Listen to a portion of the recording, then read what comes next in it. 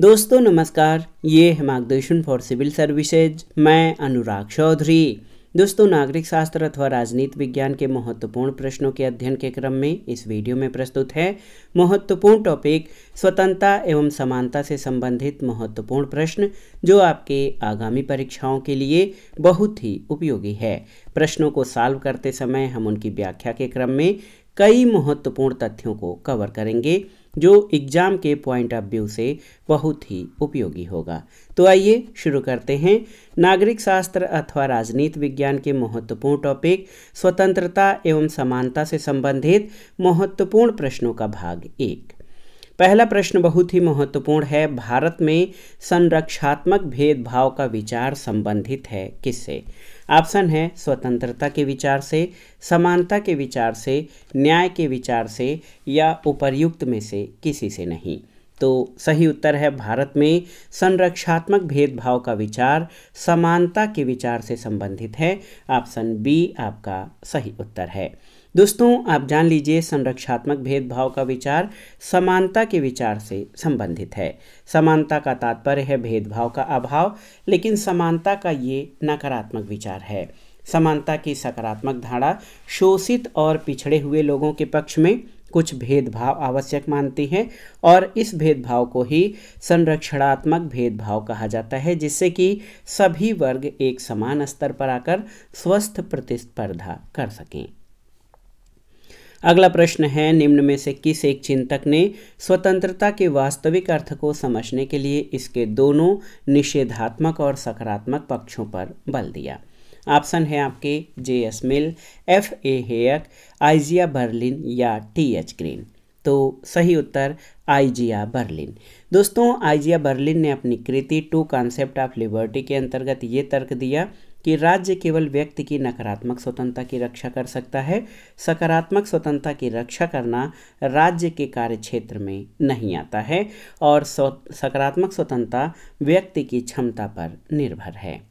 तो याद रखिएगा, वास्तविक अर्थ जो स्वतंत्रता का है उसको समझने के लिए निषेधात्मक और सकारात्मक दोनों ही पक्षों पर आईजिया बर्लिन ने बल दिया है। अगला प्रश्न कथन और कारण से संबंधित है। कथन है आपका कि स्वतंत्रता की मार्क्सवादी धारणा स्वतंत्रता की उदारवादी, व्यक्तिवादी धारणा से भिन्न है। बिल्कुल सही है। कारण है कि मार्क्सवादी धारणा के अनुसार स्वतंत्रता ऐसी चीज़ नहीं है जिसका उपयोग व्यक्ति एकांत में कर सके। तो दोनों ही सही हैं। दोस्तों, आप जान लीजिए कि यहाँ पर कथन और कारण दोनों सही हैं, लेकिन कथन की सही व्याख्या कारण नहीं करता है। दोस्तों, आप जान लीजिए, स्वतंत्रता की मार्क्सवादी और उदारवादी धारणा में अंतर है और कारण भी सत्य है। मार्क्सवाद के अनुसार स्वतंत्रता का उपभोग व्यक्ति समुदाय में रहकर करता है, अलग नहीं। और कारण कथन की सही व्याख्या नहीं है। कथन में मार्क्सवाद और उदारवाद में प्रचलित स्वतंत्रता के अंतर को बताया गया है। लेकिन कारण में केवल मार्क्सवाद का उल्लेख किया गया है तो इसलिए कारण कथन की अधूरी व्याख्या करता है। ऑप्शन बी आपका सही उत्तर है। अगला प्रश्न बहुत ही महत्वपूर्ण है। बीसवीं शताब्दी में स्वतंत्रता के नकारात्मक दृष्टिकोण के अग्रतम प्रतिपादकों में से कौन है? Isaiah Berlin C B Macpherson, John Rawls या चार्ल्स टेलर। तो सही उत्तर आइजिया बर्लिन। दोस्तों, बीसवीं शताब्दी में आइजिया बर्लिन, एफ़ ए हेयक और मिल्टन फ्रीडमैन ने सकारात्मक स्वतंत्रता के स्थान पर नकारात्मक स्वतंत्रता पर बल देकर स्वतंत्रता के सार तत्व को क्षति पहुंचाई है। बर्लिन ने अपनी कृति टू कॉन्सेप्ट ऑफ़ लिबर्टी में लिखा है कि राज्य केवल व्यक्ति की नकारात्मक स्वतंत्रता की रक्षा कर सकता है, सकारात्मक स्वतंत्रता की रक्षा करना राज्य के कार्य क्षेत्र में नहीं आता है। अगला प्रश्न बहुत ही महत्वपूर्ण है दोस्तों। सतत जागरूकता ही स्वतंत्रता का मूल्य है। ये कथन किसका है? ऑप्शन है ब्राइस मैकाइवर लास्की या वाशिंगटन। दोस्तों, आप जान लीजिए कि कई पुस्तकों में इसका उत्तर ब्राइस आता है। सतत जागरूकता ही स्वतंत्रता का मूल्य है। लेकिन यहाँ पर इसमें जो हमारा घटना चक्र का जो साल्व है, इसमें वाशिंगटन, जो कि संयुक्त राज्य अमेरिका के प्रथम राष्ट्रपति थे, उनका कथन ये कह रहा है, अभी मुझे कहीं से भी अथेंटिक इस कथन के बारे में जो है एग्जैक्ट जानकारी नहीं है। दोस्तों, आप जान लीजिए कि सतत जागरूकता ही स्वतंत्रता का मूल्य है। बहुत सारी पुस्तकों में इसका उत्तर ब्राइस मिलता है। दोस्तों सी डी बंस हैं। सी डी बंस ने कहा है, स्वतंत्रता न केवल सभ्य जीवन का आधार है, बल्कि सभ्यता का विकास भी व्यक्तिगत स्वतंत्रता पर ही निर्भर करता है।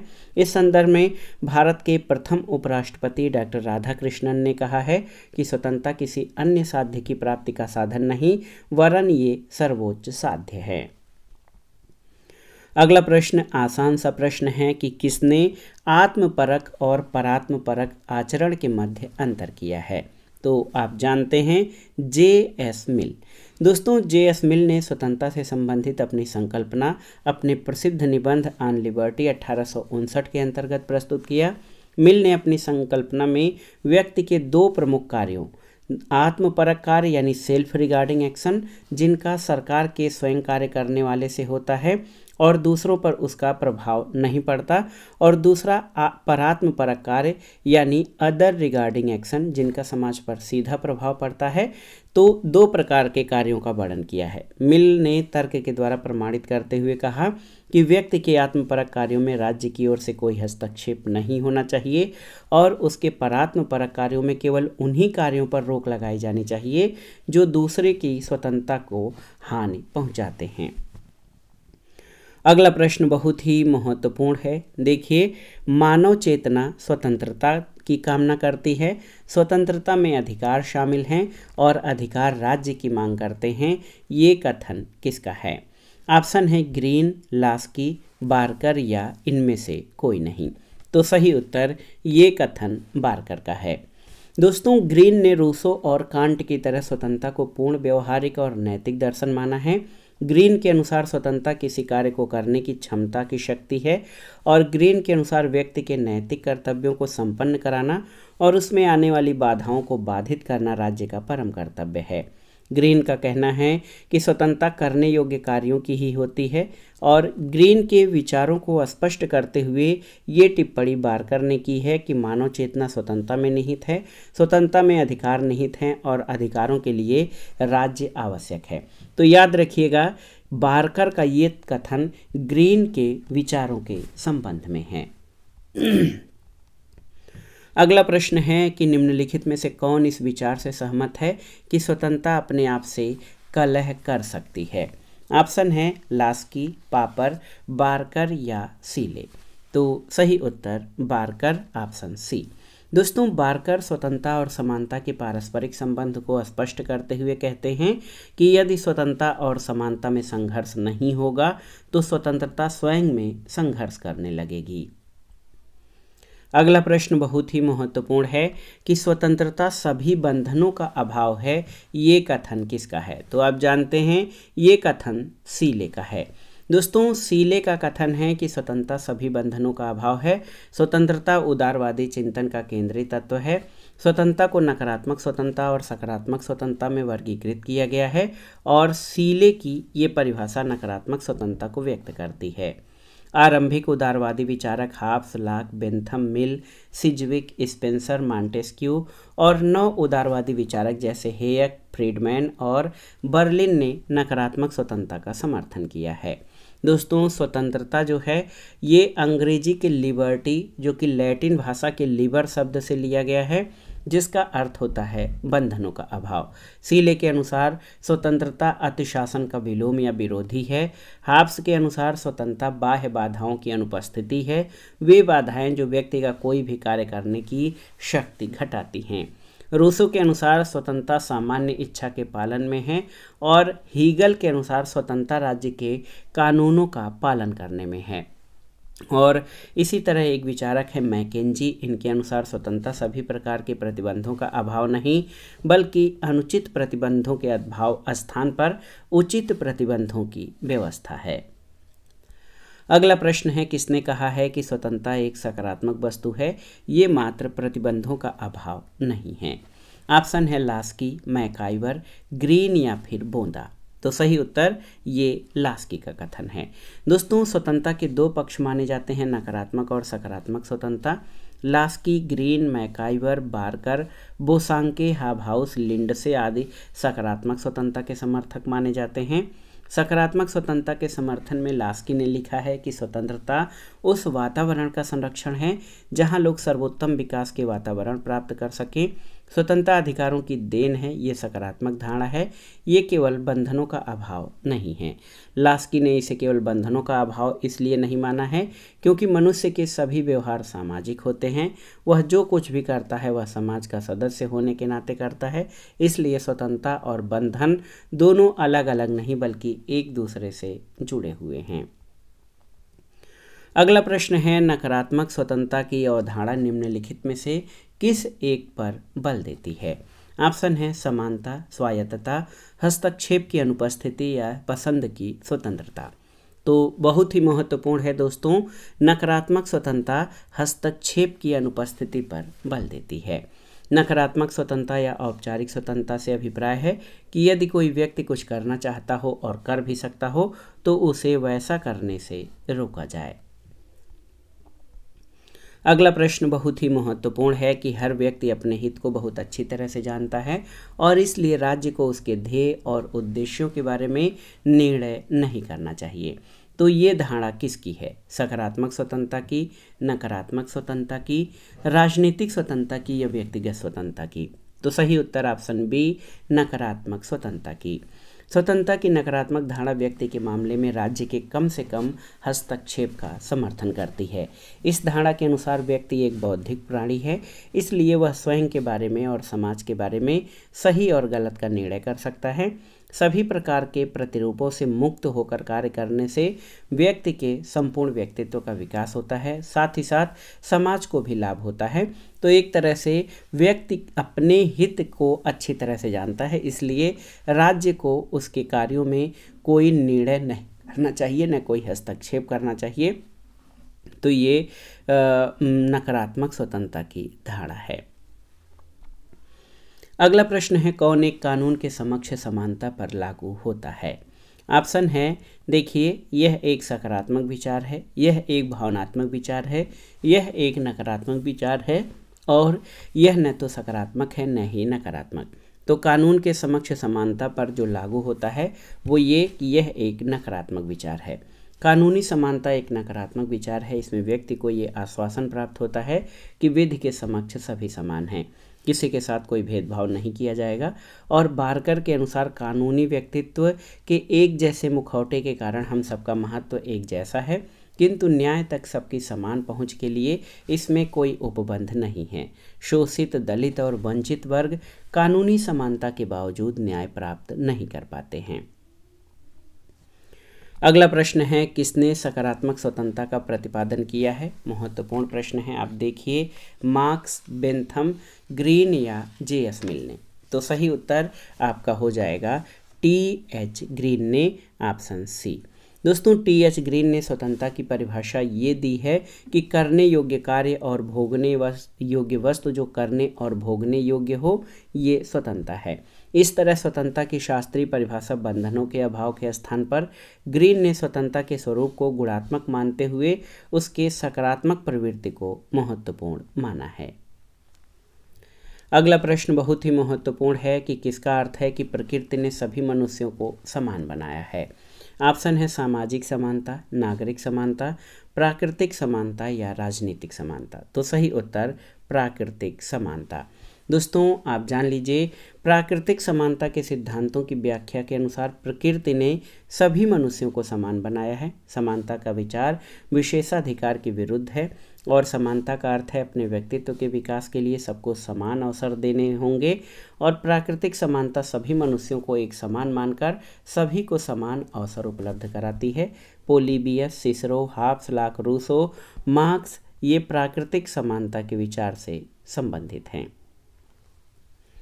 अगला प्रश्न है, समानता का अर्थ ये है कि सभी व्यक्तियों के लिए पर्याप्त अवसर प्राप्त होना चाहिए, ये किसने कहा है? ऑप्शन है आइवर जेनिंग्स, डायसी, लास्की या मैकाइवर तो सही उत्तर, लास्की।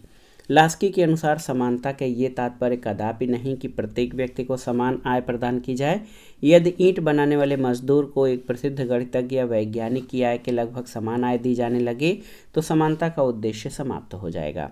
समानता का प्रथम अर्थ विशेषाधिकारों का अभाव है और दूसरा अर्थ है कि सभी को विकास का समान अवसर प्राप्त हो। अगला प्रश्न है, किसने लिखा है कि प्रजातांत्रिक समानता एक भयानक प्रपंच है? ऑप्शन है C. D Burns Burke, Bryce या कार्लाइल। तो ये कथन एडमंड बर्क का है। दोस्तों प्रजातंत्री समानता का विरोध करते हुए वर्क इसे दानवी संकल्पना या भयानक प्रपंच कहता है, जबकि कार्लाइल के अनुसार ये अविश्वसनीय बेवकूफ़ी भरी मूर्खता है। तो प्रजातंत्री समानता एक भयानक प्रपंच है, ये वर्क का कथन है और ये अविश्वसनीय बेवकूफ़ी भरी मूर्खता है, ये कार्लाइल का कथन है। अगला एक महत्वपूर्ण प्रश्न है जो बार बार परीक्षाओं में पूछा जाता है कि आर्थिक समानता के बिना राजनीतिक स्वतंत्रता मिथक है, ये कथन किसका है? ऑप्शन है ग्रीन, मिल, कोल और लास्की। तो जहाँ पर मिथक या जो मिथ है, कप, ये कपोल कल्पना जो शब्दावली आए कि आर्थिक समानता के बिना राजनीतिक स्वतंत्रता मिथक है या कपोल कल्पना है तो वो कोल का कथन है। दोस्तों, आप जान लीजिए जी डी एच कोल ने कहा है कि आर्थिक समानता के बिना राजनीतिक स्वतंत्रता मिथक है और दूसरे शब्दों में, आर्थिक समानता के अभाव में राजनीतिक स्वतंत्रता केवल एक भ्रम है और राजनीतिक स्वतंत्रता के आधार के रूप में आर्थिक समानता कार्य करती है। एक व्यक्ति सार्वजनिक क्षेत्र के प्रति तभी रुचि ले सकता है जब उसके पास अपनी अनिवार्य आवश्यकताओं को पूरा करने के पर्याप्त साधन उपलब्ध हों। लास्की कहते हैं कि मुझे स्वादिष्ट भोजन करने का अधिकार नहीं है, यदि मेरे पड़ोसी को मेरे इस अधिकार के कारण सूखी रोटी से वंचित रहना पड़े। जवाहरलाल नेहरू कहते हैं कि भूखे व्यक्ति के लिए मत का कोई मूल्य नहीं होता। लास्की के अनुसार यदि राज्य संपत्ति को अधीन नहीं रखता तो संपत्ति राज्य को वशीभूत कर लेगी। और कोल की तरह लास्की ने कहा है कि आर्थिक समानता के बिना राजनीतिक स्वतंत्रता कभी भी वास्तविक नहीं हो सकती है। तो दोस्तों, आर्थिक समानता के अभाव में राजनीतिक स्वतंत्रता कभी भी वास्तविक नहीं हो सकती, ये लास्की का कथन है। जबकि आर्थिक समानता के बिना राजनीतिक स्वतंत्रता मिथक है या कपोल कल्पना है, ये जी डी एच कोल का कथन है।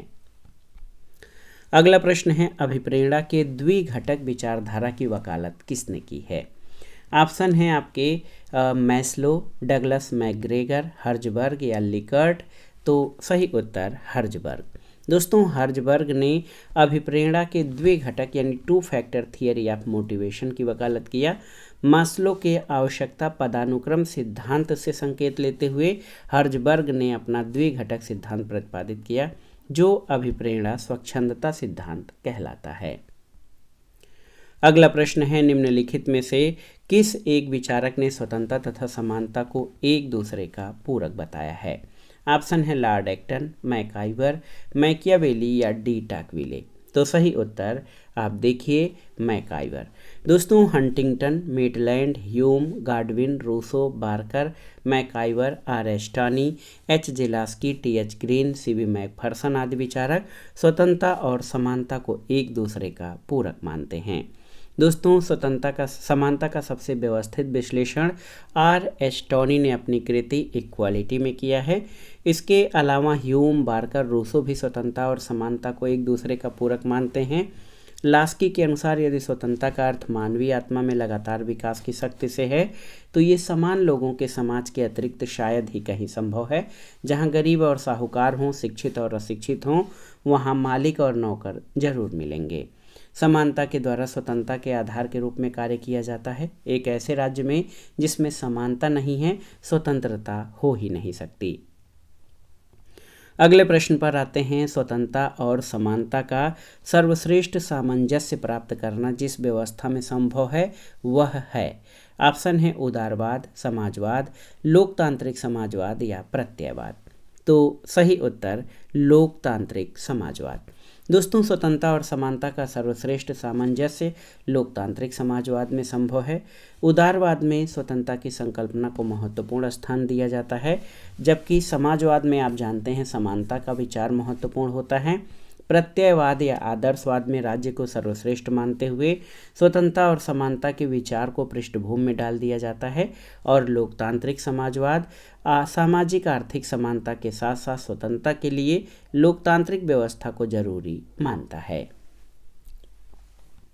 अगला प्रश्न है कि किसका मत है कि मनुष्य को स्वतंत्र होने के लिए बाध्य किया जा सकता है? ऑप्शन है अरस्तु, मिल, गांधी या रूसो। तो सही उत्तर, रूसो। दोस्तों, रूसो के अनुसार स्वतंत्रता का अर्थ अपनी नैतिक इच्छा का पालन करना है। रूसो का कहना है कि जो व्यक्ति अपनी सामान्य इच्छा का पालन नहीं करेंगे, उस व्यक्ति को स्वतंत्र होने के लिए बाध्य किया जा सकता है। इस कारण से रूसो को फांसीवादी विचारधारा का दार्शनिक पिता कहा जाता है और सेबाइन के अनुसार रूसो की स्वतंत्रता की संकल्पना को पैराडॉक्स ऑफ़ फ्रीडम या विरोधाभासी स्वतंत्रता कहा जाता है। अगला प्रश्न है, किसने ये टिप्पणी की है कि प्रतिबंधों के रूप में सभी प्रतिबंध एक बुराई है? स्वयं लोगों को छोड़ देना उन्हें नियंत्रित करने से सदैव बेहतर है। ये कथन किसका है? ग्रीन, मिल, बार्कर और पापर? तो सही उत्तर, मिल का कथन है। दोस्तों, जॉन स्टुअर्ट मिल ने अपनी प्रसिद्ध पुस्तक आन लिबर्टी में लिखा है कि लोगों की स्वतंत्रता की सुरक्षा के लिए प्रतिबंधों की मात्रा को कम किया जाना चाहिए। उनको स्वतंत्र छोड़ देना प्रतिबंध लगाने से बेहतर है। अगला प्रश्न है, जॉन स्टुअर्ट मिल के स्वतंत्रता के सिद्धांत के बारे में कौन सा कथन सही है? तो दोस्तों, मिल का विचार है कि स्वतंत्रता के बिना मनुष्य बौद्धिक और नैतिक पूर्णता प्राप्त नहीं कर सकता और विकास और एक आदर्श मनुष्य नहीं बन सकता। तो ये कथन आपका सही है। दोस्तों, आप जान लीजिए कि जॉन स्टुअर्ट मिल ने अपने स्वतंत्रता संबंधी विचार का प्रतिपादन अन लिबर्टी पुस्तक में, जो अठारह में प्रकाशित हुई थी, वहाँ पर दिया है। मिल ने स्वतंत्रता के नकारात्मक दृष्टिकोण का प्रतिपादन किया। मिल के अनुसार व्यक्ति का उद्देश्य अपने व्यक्तित्व का उच्चतम और अधिकतम विकास है और ये विकास केवल स्वतंत्रता के वातावरण में ही संभव है। मिल का कहना है कि स्वतंत्रता के द्वारा मनुष्य बौद्धिक और नैतिक पूर्णता प्राप्त करके एक आदर्श मनुष्य बन सकता है। मिल के अनुसार व्यक्ति के जीवन में राज्य का न्यूनतम हस्तक्षेप और अधिकतम संभव सीमा तक व्यक्ति को अपनी इच्छानुसार जीवन व्यतीत करने की छूट ही स्वतंत्रता है और वही इसे अपनाने पर बल देता है। मिल ने व्यक्ति की स्वतंत्रता को दो भागों में बांटा है, विचारों की स्वतंत्रता और कार्य संबंधी स्वतंत्रता। मिल के अनुसार व्यक्ति को विचारों की पूर्ण स्वतंत्रता प्राप्त होनी चाहिए। मिल स्थापित परंपरा और धारणा के विरुद्ध विचार प्रकट करने की स्वतंत्रता देता है तथा सन की व्यक्ति को भी स्वतंत्रता दिए जाने का पक्षधर है। मिल जो है, वो कार्य संबंधी स्वतंत्रता को स्व विषयक और पर विषयक दो भागों में विभाजित करता है। उसके अनुसार स्व विषयक कार्यों में व्यक्ति को पूर्ण स्वाधीनता प्राप्त होनी चाहिए, लेकिन पर विषयक कार्यों में व्यक्ति की स्वतंत्रता सीमित होती है। विशेषकर जब उसके कार्यों से समाज के अन्य व्यक्तियों की स्वतंत्रता में बाधा पहुँचती हो तो। अगला प्रश्न है जे एस मिल किसका निष्ठावान समर्थक था? तानाशाही साम्राज्य या तानाशाही राज्य, स्वतंत्रता, समाजवादी विचारधारा या संविदावादी दर्शन? तो सही उत्तर, मिल जो है स्वतंत्रता का निष्ठावान समर्थक था। स्वतंत्रता के संबंध में जे एस मिल की महान रचना एस्से ऑन लिबर्टी प्रसिद्ध है।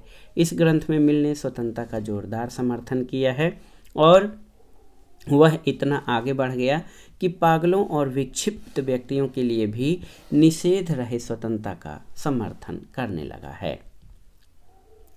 अगला प्रश्न है, जान स्टुअर्ट मिल ने स्वतंत्रता के संबंध में सभी मानवीय कार्यों का विभाजन किस प्रकार से किया है?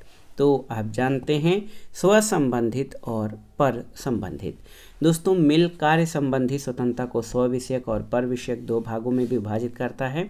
उसके अनुसार स्व विषयक कार्यों में व्यक्ति को पूर्ण स्वतंत्रता प्राप्त होनी चाहिए, लेकिन पर विषयक कार्यों में व्यक्ति की स्वतंत्रता सीमित होती है, विशेषकर जब उसके कार्यों से समाज के अन्य व्यक्तियों की स्वतंत्रता में बाधा पहुँचती हो तो राज्य के व्यक्ति की स्वतंत्रता में केवल उन्हीं कार्यों पर प्रतिबंध लगाना चाहिए जिससे समाज के अन्य व्यक्तियों की स्वतंत्रता में बाधा पहुँचती हो। अगला प्रश्न है, राजकीय सहायता व्यक्ति के आत्मविकास के भाव को नष्ट कर देती है। यह उसके उत्तरदायित्व को दुर्बल बनाती है और चरित्र के विचार को कुंठित कर देती है। ये कथन किसका है? तो ये कथन जे एस मिल का है। दोस्तों, स्वतंत्रता के पक्ष में नैतिक तर्क देते हुए जे एस मिल का कहना है कि राज्य के द्वारा प्राप्त सहायता से लोगों में उत्तरदायित्व, विहीनता और उसके नैतिक विकास पर नकारात्मक प्रभाव पड़ता है। अगला प्रश्न है, किसने कहा है कि समानता की अभिलाषा के कारण स्वतंत्रता की आशा व्यर्थ हो गई है?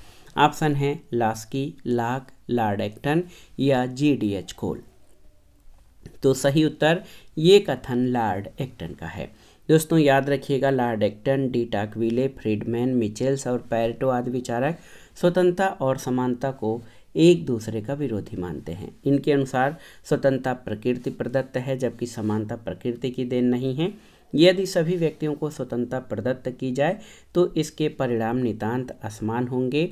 और यदि शक्ति के आधार पर सभी व्यक्तियों के समान कर दिया जाए तो ये समानता व्यक्तिगत स्वतंत्रता को नष्ट कर देगी। इसी संबंध में लॉर्ड एक्टर ने कहा कि समानता की अभिलाषा के कारण स्वतंत्रता की आशा व्यर्थ हो गई है। अगला प्रश्न, चार कथन दिए गए हैं। आपको बताना है कि इसमें से कौन सा कथन सही है। देखिए, समानता का अर्थ है व्यवहार और पुरस्कारों की पहचान। समानता का अर्थ है समान आय। समानता का अर्थ है प्रकृति ने सब मनुष्यों को समान बनाया है और समानता का अर्थ है कि अपने व्यक्तित्व के विकास के लिए सबको समान अवसर देने का प्रावधान हो। तो ऑप्शन डी आपका सही उत्तर है। दोस्तों, समानता का अर्थ है अपने व्यक्तित्व के विकास के लिए सबको समान अवसर देने का प्रावधान। वास्तविक समानता उस स्थिति का नाम है जिसमें देश के संविधान और कानूनों द्वारा न केवल समानता की घोषणा की जाए वरन व्यवहार में उन परिस्थितियों की व्यवस्था भी की जाए जिनके आधार पर नागरिकों के द्वारा वास्तव में समानता का उपभोग किया जा सके। ये कार्य राज्य द्वारा सभी व्यक्तियों को व्यक्तित्व के विकास के लिए समान अवसर दिए जाने से पूरा होता है। अगला प्रश्न है, स्वतंत्रता और समानता एक दूसरे की विरोधी हैं, ये मत किसका था? तो उत्तर है, लॉर्ड एक्टन का। दोस्तों, एक्टन ने स्वतंत्रता और समानता को एक दूसरे का विरोधी माना है। इसके अतिरिक्त फ्रांसीसी विचारक एलेक्स डी टाकविल स्वतंत्रता और समानता को एक दूसरे का विरोधी मानते हैं। और टाकविले का कहना है कि लोकतंत्र का विस्तार समानता को जितना बढ़ावा देता है, स्वतंत्रता के लिए उतना ही बड़ा खतरा पैदा करता है। फ्रीडमैन, मिचेल्स और पैरेटो स्वतंत्रता और समानता को एक दूसरे का विरोधी मानते हैं। कुछ विचारक सामाजिक आर्थिक क्षेत्र में स्वतंत्रता के नाम पर समानता का विरोध करते हैं और अंग्रेज़ दार्शनिक आइजिया बर्लिन ने अपने निबंध टू कॉन्सेप्ट ऑफ़ लिबर्टी यानी स्वतंत्रता की दो संकल्पनाएँ में ये तर्क दिया कि राज्य केवल नकारात्मक स्वतंत्रता की रक्षा कर सकता है सकारात्मक स्वतंत्रता व्यक्ति का निजी मामला है, जिससे राज्य को कोई सरोकार नहीं रखना चाहिए। ऑस्ट्रियाई विचारक एफ़ ए हेयक ने अपनी कृति, कॉन्स्टिट्यूशन ऑफ़ लिबर्टी के अंतर्गत स्वतंत्रता और समानता को परस्पर विरोधी सिद्धांत माना है। और इस संबंध में एक्टन का प्रसिद्ध कथन आप याद रखिएगा कि समानता की उत्कृष्ट अभिलाषा के कारण स्वतंत्रता की आशा व्यर्थ हो गई है। अगला प्रश्न है, एक कथन है कि स्वतंत्रता और समानता साथ साथ नहीं रह सकते, किससे संबंधित है? तो सही उत्तर, इसमें ये लॉर्ड एक्टन का कथन है और एक्टन ने स्वतंत्रता और समानता को परस्पर विरोधी माना है। इसके अनुसार स्वतंत्रता प्रकृति प्रदत्त है, जबकि समानता प्रकृति की देन नहीं, ये कृत्रिम है और एक्टन का कहना है कि स्वतंत्रता और समानता साथ साथ नहीं रह सकते हैं। अगला प्रश्न है, समानता के प्रति आग्रह ने स्वतंत्रता की आशा को व्यर्थ बना दिया है। ये कथन किसका है? तो सही उत्तर ये लॉर्ड एक्टन का कथन है। ऑप्शन डी आपका सही उत्तर है। स्वतंत्रता और समानता के पारस्परिक विरोध को उद्घाटित करते हुए लॉर्ड एक्टर ने कहा है कि जितना अधिक हम एक को प्राप्त करेंगे, उतना ही दूसरे को हानि होगी। समानता की मात्रा बढ़ाने का अर्थ होगा स्वतंत्रता में कमी होना। और इस संबंध में एक्टर ने स्वतंत्रता को महत्वपूर्ण मानते हुए समानता के प्रति अति उत्साह का विरोध किया है। अगला प्रश्न है कि समाज में समानता का निहितार्थ किसका अभाव है? अवरोधों का, विशेषाधिकार का, प्रतिस्पर्धा का या सामाजिक वर्ग का? तो समाज में समानता का जो निहितार्थ है, वो विशेषाधिकार का अभाव है। दोस्तों, समानता का विचार विशेषाधिकारों के विरुद्ध है। लोकतंत्र के लिए विशेषाधिकारों को खत्म करके समानता पर आधारित समाज का निर्माण ज़रूरी है। समाज में धर्म, जाति या जन्म के स्तर पर यदि व्यक्तियों को विशेष अधिकार प्राप्त हों तो उस समाज में वास्तविक समानता को प्राप्त कर पाना संभव नहीं होता है।